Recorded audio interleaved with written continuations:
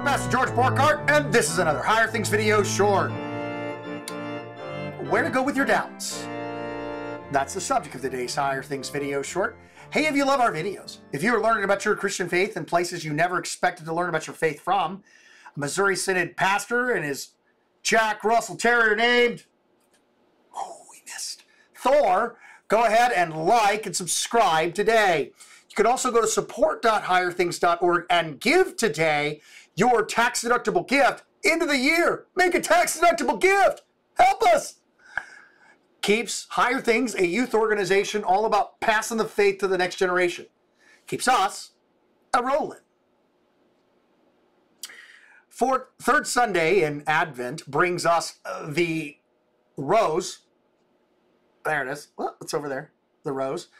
Um, Paramount's rose candle and the traditional gospel lesson from Matthew chapter 11.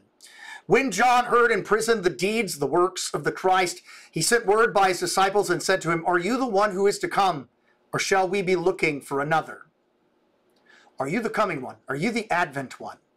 Or do we need to be looking for another? Now, um, a lot of ink has been spilt on this subject. A lot of folks have considered whether John doubted or not. And I've preached both John couldn't have doubted and John has doubted, did doubt. If you preach for 19 years, you end up like that. But um, in my old age, and by the way, the majority of, of commentators will say that he didn't doubt, doubt, along with the early church and Luther. A simple read of the text, you can't avoid the question on a simple read are you the one who is to come, or do we need to look for another with him in prison? But in my old age, I've determined that um, it, that's the wrong question. The question is not whether John doubts or not.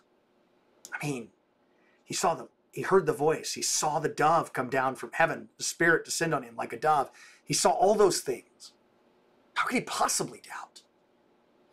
And the thing to do with the John question is to take your eyes off of John and put them on who John takes these doubts to.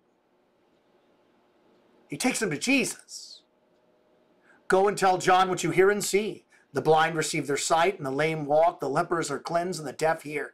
The dead are raised up, and the poor have the good news preached to them. And blessed are the one is not scandalized because of me. So the place to go with your doubts is not to hide them like a fig tree, like we like we took a fig leaf and uncovered our nakedness after the fall. It's not to deny them or convince God otherwise. No, God, I, I don't really doubt. I believe in you completely. Um, if you had faith like a mustard seed, you could tell the mountains to be uprooted and tossed into the sea, and they would obey you. And yet, no mountains are moving in our lives. And so this tells me that the place to go with your doubts, the place to go with your despair, is to confess them to Jesus and receive forgiveness. To look at the Lord and say, I, I'm, I'm struggling here. Things are not going the way I intended them to go. I don't know what to do. Where are you? And we'll find in that honest confession what Jesus does for us. And what he does is he takes upon himself our doubts and our despair, and he takes upon himself our sin and our unbelief, and he dies. Look at the lame, the deaf, the crippled, and the poor they all receive gifts from God. The poor have the gospel preached. We have the gospel preached to us. And so the place to go is not to wonder what's going on in John.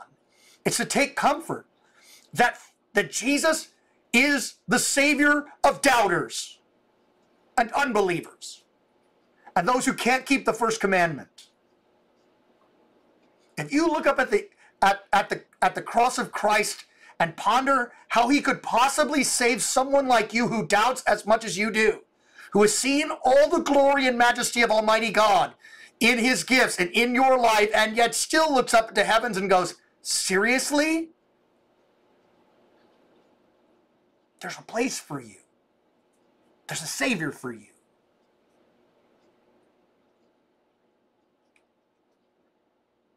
So you're saying people are saved without believing? Never said that. I'm saying be real about your unbelief and doubt and confess it to God. That's what Gaudete teaches you. There is no rejoicing in covering up your sins like a cat covers his business in the cat box. There is only despair there because God knows better. Confess your sins, confess your unbelief, confess your doubts, Confess your despair. Confess that you aren't in agreement with how your life is going, and you will find a Savior. One who is born for you, lives for you, heals the sick, raises the dead, preaches the gospel to the poor for you, who dies for you, who rose for you, and who lives for you.